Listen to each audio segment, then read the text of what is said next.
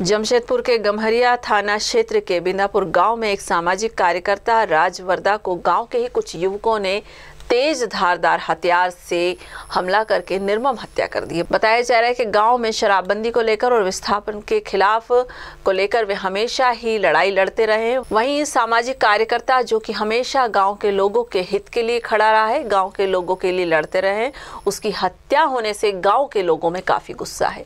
वहीं गमरिया थाना पुलिस ने घटना के बारे में जैसे ही उन्हें जानकारी मिली, जाँच पड़ताल शुरू कर दी है।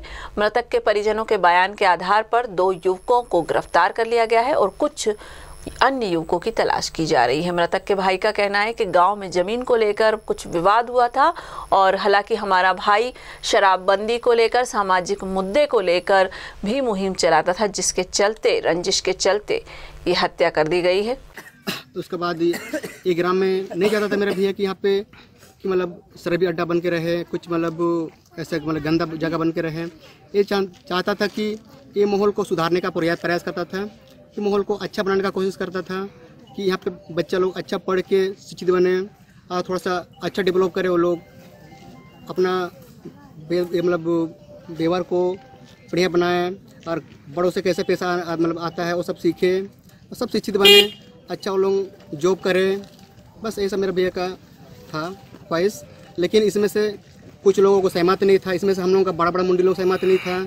जैसे इसमें से वार्ड मेंबर, जिसके पास पैसा है, प्रधान, ये सब हम लोग को मुखिया लोग, ये लोग इसमें से सहमत एकदम नहीं था। ये लोग चाहता था कि दारू फट्टी रहे तो हम लोग के पास में ये लोग आएगा, गुलामी करेगा, जैसे हम लोग बोलेंगे, वैसा लोग करेगा।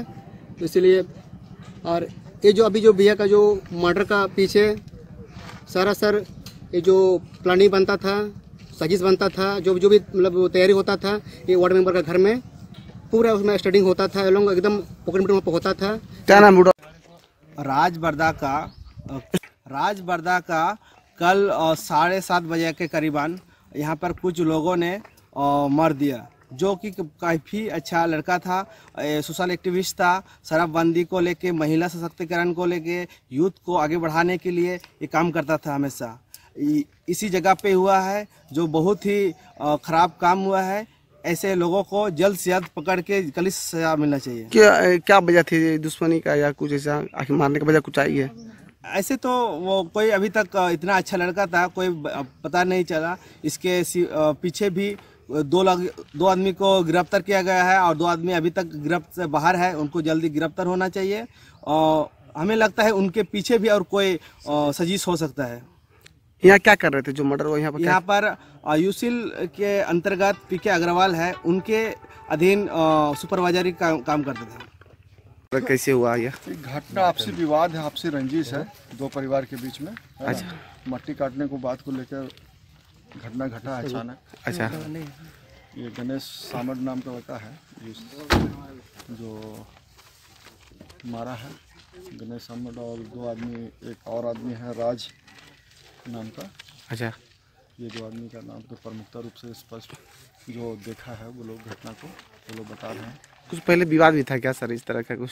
कुछ आपसी लोग का विवाद भी था खेत उत को लेकर पानी उनी को लेकर अच्छा क्या नाम है मृतक का सर?